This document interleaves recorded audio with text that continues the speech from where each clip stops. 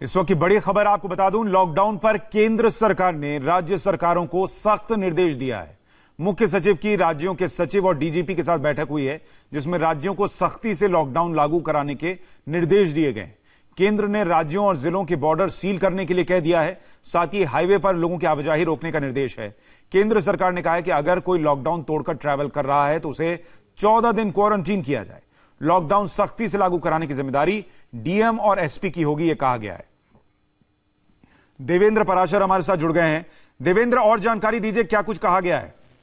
और सुशांत ये पूरी कवायद इसलिए की गई है कि पिछले दो दिनों में से जिस प्रकार से तस्वीरें दिख रही हैं अलग अलग जगहों से, कि किस प्रकार से लॉकडाउन का वायलेशन हो रहा है। हालाँकि सरकार, केंद्र सरकार भी ये मान रही है कि एक हद तक ये बहुत सफल रहा है, लेकिन जो भी वायलेशन हो रहा है, वो बहुत ज़्यादा चिंतित करने वाला है। और वैसी स्थिति में भारत सरकार ने सभी राज्यों के सचिवों और डीजीपी को ये कहा है कि डीएम और एसपी के मार्फत, ये उनकी ज़िम्मेदारी है, उनकी जवाबदेही है कि कैसे लॉक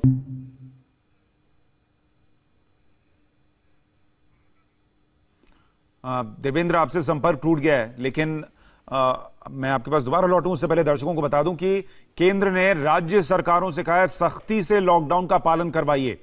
ये नहीं हो सकता कि इस तरीके से लोग बाहर निकले रहें और ये इस व्यवस्था करने के लिए इसलिए कहना पड़ा क्योंकि दिल्ली में आनंद विहार का जो बस अड्डा है वहाँ पर बहुत सारे लोग इकट्ठा हो गए थे अपने घर वापस जाने के लिए और वहाँ पर स्थिति जो है वो खराब होती दिखी थी। ऐसे में अब केंद्र ने राज्य सरकारों से कहा है, डीएम और एसपी को ज़िम्मेदारी दी है। मुख्य सचिवों के साथ बैठक के बाद यह फैसला किया गया है कि सारे बॉर्डर सील कीजिए, जो लोग बाहर हैं, उनको चौदह दिन के लिए क्वारंटीन कीजिए और किसी को भी बाहर जाने की इजाज़त नहीं होनी चाहिए, वरना जो समस्या है, वो बहुत बड़ी हो जाएगी। लोगों को अंदाज़ा नहीं लग रहा, जो लोग घर जाना चाह रहे हैं, वो ये ध्यान रखें कि वो घर तो जा, हो सकता है पहुँच जाए बड़ी मुश्किल से, लेकिन वो घर कोरोना का वायरस भी लेकर जा सकते हैं और अपने लिए, अपने परिवार वालों के लिए बहुत बड़ा खतरा बन सकते हैं।